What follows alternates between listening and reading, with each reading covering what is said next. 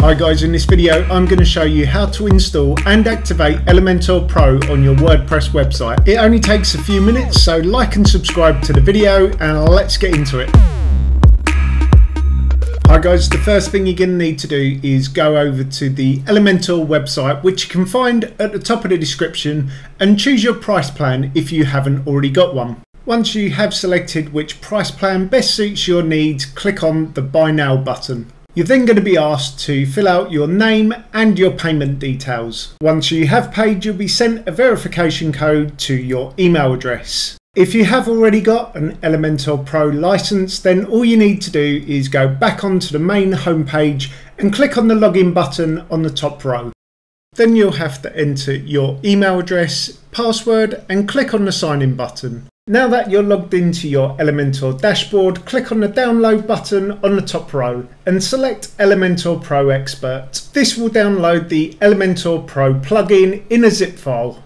Once it's finished downloading, head over to your WordPress dashboard. From here, you're going to want to click on plugins on the left hand side.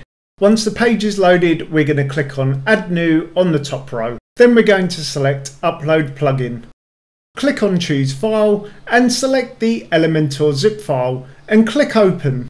Now you're going to have to click on the install now button. WordPress will then install the zip file and all you need to do is click on activate plugin. You'll be then taken back to your list of WordPress plugins. As you can see, Elementor Pro has been added to that list. All we need to do now is click on connect and activate. Once the page is loaded, all we need to do is connect and activate our license and we do that by clicking on the activate button. And that's it, you're now free to design amazing websites with Elementor Pro. Now if we go back to a page that we've been working on, we can see that the padlocks have been taken off of the Elementor Pro widgets and we're free to use them as we please. Remember if you don't have Elementor Pro there is a link in the top of the description below.